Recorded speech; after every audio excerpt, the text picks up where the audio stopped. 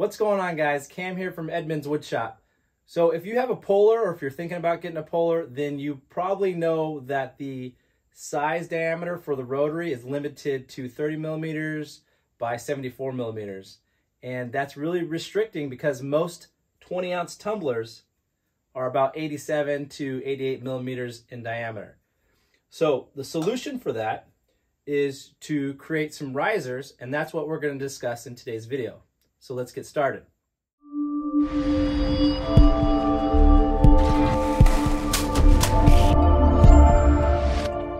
So I've already pulled out the tray and the honeycomb bed, and I've put the rotary in place.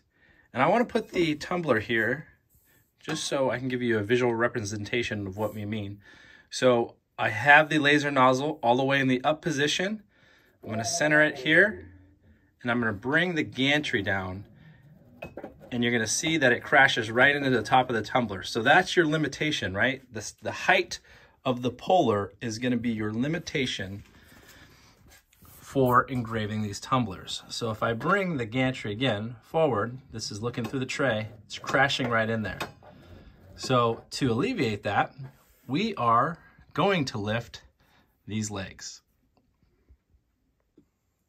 So assuming all these legs down here are standard across all polars, I am going to do the measurement for you just using a pair of calipers. And we're gonna measure here. And it's roughly, we're just gonna say 40 millimeters when we go to put that inside Lightburn. Okay, so now we're in Lightburn and we're going to design these risers fairly quick. They're really easy to do. So we're going to start by making sure that our unit of measurements are in millimeters. And you just click the little icon here. It says mm. If yours says inches, make sure it says mm for millimeters. And then we're going to go over to the left toolbar and go to the circle tool. We're going to click and drag and then hold shift on our keyboard and it'll make a perfect circle and then just let go and then go back up to the upper toolbar where it says width and height and then make sure your lock icon is locked and we're going to adjust the diameter to 41 because the legs on our polar measure 40 millimeters so we want those legs to sit perfectly inside that little cutout here when we make it alright and then we're going to move on to the square tool over here on the left toolbar. Click on that. And we're just going to click anywhere on the screen. We're going to click and drag. And if you hold shift, it'll make a perfect circle. And then just let go. Okay? Again, going up to the upper toolbar where it says width and height, making sure your lock icon is locked. We're going to change that measurement to 51 millimeters. Hit tab and it'll adjust. And 51 millimeters is just a size that I test it out to see if it'll work perfectly for holding up the polar legs. Okay, now we're going to go to the left toolbar and click our selection tool arrow. And our, our box should already be selected. So we're going to hold shift and we're going to pick our circle so they're both selected. Come up here to the upper toolbar. We're going to click this little target icon so they center each other. So now they're right on top of each other. So now we're ready to start making the rest of the riser. Alright, so click off the screen and then click just the box. And we're going to come over here to the left where this little uh, grid icon is. This is your array tool. So click on that. And what I want you to do here is we know that the width of our box on the x-axis is 51 millimeters. So we're going to change this spacing to 53. So that allows us to have a 2 mil spacing in between each box that we create. Okay?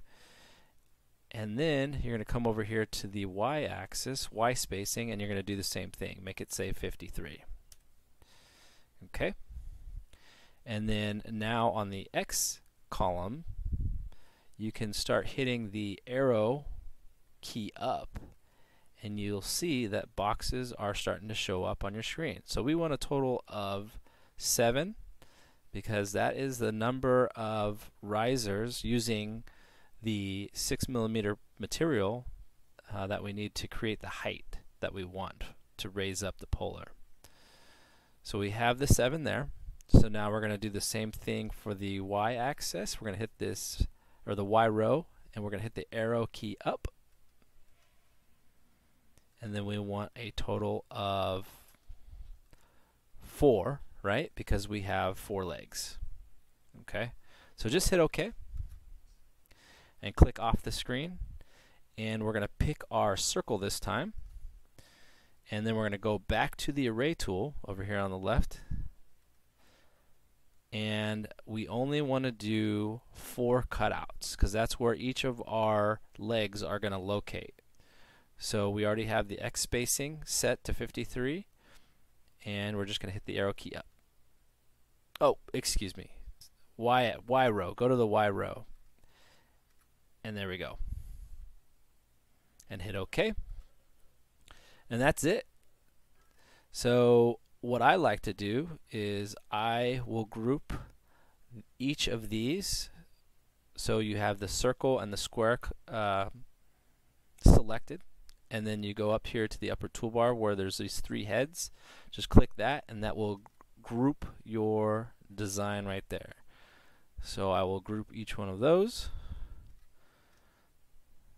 just so I don't make sure that I don't accidentally select off the screen or move them. I want them to be centered to each other.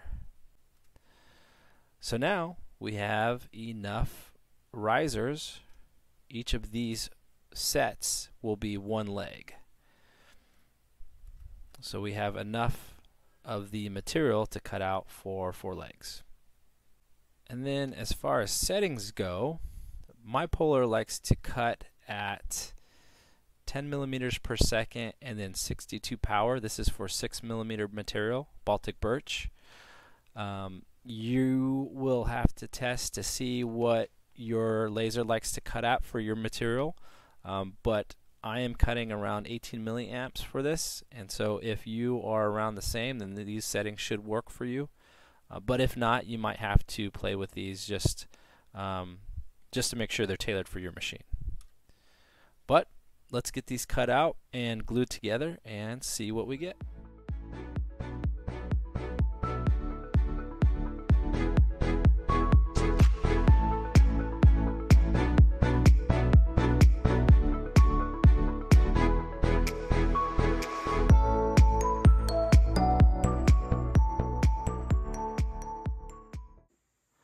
So now we have each of the four risers cut out and glued together.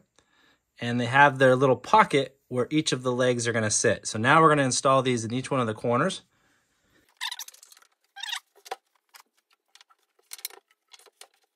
Okay, and there you go.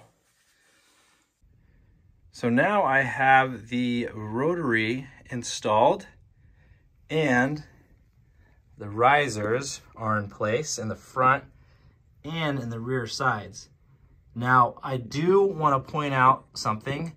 Due to the height of the risers, your cord length to the rotary is going to be stretched to its maximum length. So you cannot go any higher with the with the risers.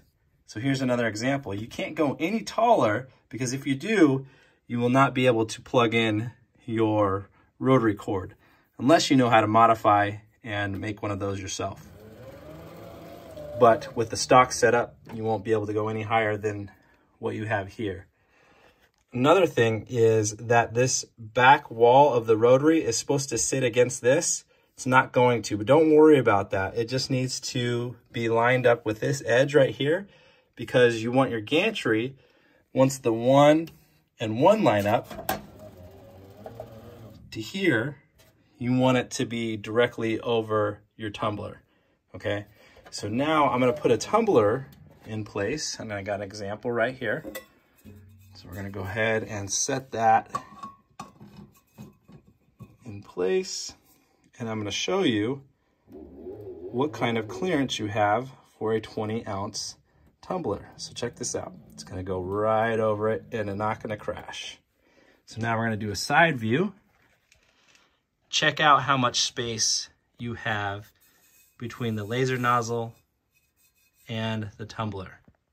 So you might ask, well, why can't I do a 30 ounce tumbler? Well, again, I'm gonna refer you back to the length of the cord. So unless you know how to modify a cord and make a, a longer one, you won't be able to do a 30 ounce tumbler no matter how tall you make these risers.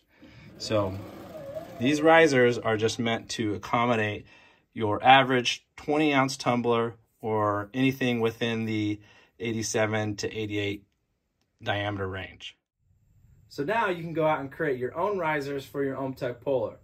If you found this video helpful, please give it a thumbs up and subscribe to the channel because I will have future content regarding the Polar, maybe some other laser things coming out very soon. So, till then, we'll catch you guys later.